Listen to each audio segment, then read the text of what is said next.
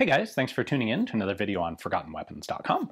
I'm Ian McCollum, and you've probably heard people talk about what a great investment guns are. And I want to talk about that idea today because, well, let's just start off, be really clear. I don't think guns are that great of an investment. I think they're kind of a misguided investment. If you want to actually build wealth, which is the idea of investing, uh, you want something where your money is actually going to do work for you and build real value buying a bunch of guns, what you're doing is hoping, assuming, um, guessing that people are going to want those guns fundamentally more in a few years than they do now. Because the prices are always going to be going up with inflation. That's what we see with gun prices always going up. Uh, but if the gun doesn't actually become fundamentally more valuable to people, it'll go up with inflation at the same rate that everything else does. And in fact, if we look at the trend in firearms prices, just as an overall very general thing from the 1950s, hasn't changed much. Some stuff's gone up a little bit in price, some stuff's actually come down. Ammunition is cheaper today. Um, even today, today, it's cheaper than it was in the 50s or 60s. Uh, but fundamentally, gun values just track with inflation. So I think they're a really good store of value you can, if buy good collectible guns, you're not going to lose money in the long term, but you're not really going to gain any money in the long term either. If you want to do that, look at something like businesses, uh, stock market investing, that sort of thing. Now, I'm certainly not a stock market expert, and uh, that's not even close to the subject of today's video. Well, let's say that even having gone through that, you still want to try and invest in guns to maximize value as opposed to investing in guns because you like them and you're interested in them, which I think is, is a bit healthier. But certainly, even if it's a, uh, you're trying to build a collection uh, of guns that you are interested in, there are a number of things that are that you should pay attention to if you want to have them go up in value as much as possible. So, first off, you need knowledge. Um, it's it's no good to spend money on something that turns out to be fake, for example, or to have someone intimate that a gun is particularly rare and unusual when it's actually not. Uh, the only way to effectively do that is to have knowledge, to learn the specifics of the subject matter that you're trying to collect. And so I guess what I'm trying to say is you kind of need to specialize.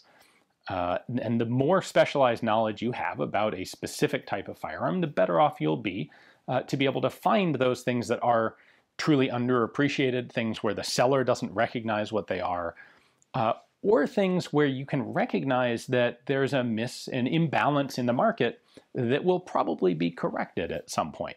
A good example of one that hasn't really worked itself out yet are Nambu pistols. We've got the Type 14s and the Type 94s. 14s, by the way, look like Lugers, sort of. The 94s just kind of look ugly. And they're worth more or less the same. Like the prices on them are pretty much the same. But what people apparently haven't really caught on to is there are a lot more Type 14s manufactured than there were 94s. The 94 ought to be an intrinsically significantly more valuable gun than the 14. And at some point, that's probably going to come out.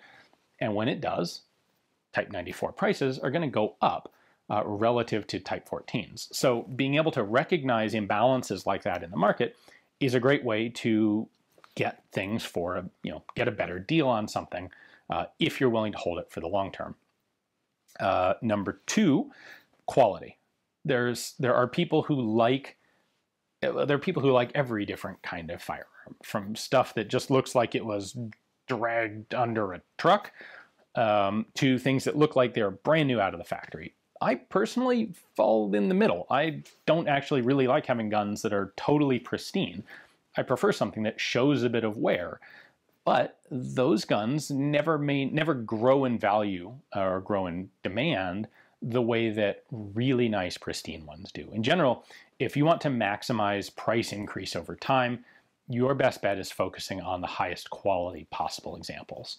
And part of the reason for that is those are always the ones that are going to be worth the most, but it also means if the market slows down, um, if if more of these guns become available because stuff is getting imported all the time, and it's really hard to predict what's going to be coming onto the market next. Uh, the high quality examples are always going to be the ones that are sold that are most that are easiest to sell.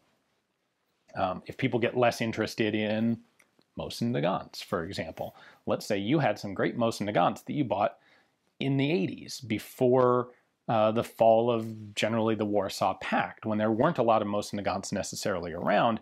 If you had some kind of junkers, uh, their value basically went through the floor when the market got flooded with Mosin Nagants.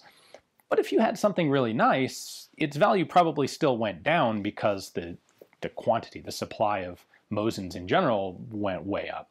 But if you had something really nice, it was going to survive and hold its value better than the ones that weren't in such good condition. And um, that always applies. Um, you can see it in, in auction prices, like especially with machine guns. As the quality uh, as the quality increases, the price, the value increases sort of exponentially.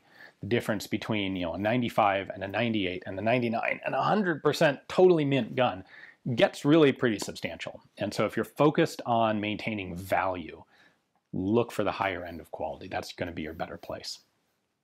Um, be aware that if you are actually doing this to try and build money, you have to be willing to sell the stuff. So there's a weird line at which this crosses from being an investor, you know, a collector who's investing in guns, to someone who's actually a dealer who has turned this into a business of buying low and selling high.